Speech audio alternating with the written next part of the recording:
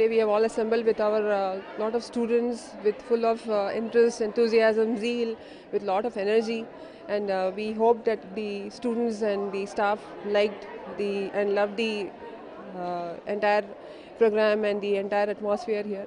To, basically, it is uh, these programs are conducted for uh, our students' motivation, and today I must say that the entire event is conducted by our whole student fraternity.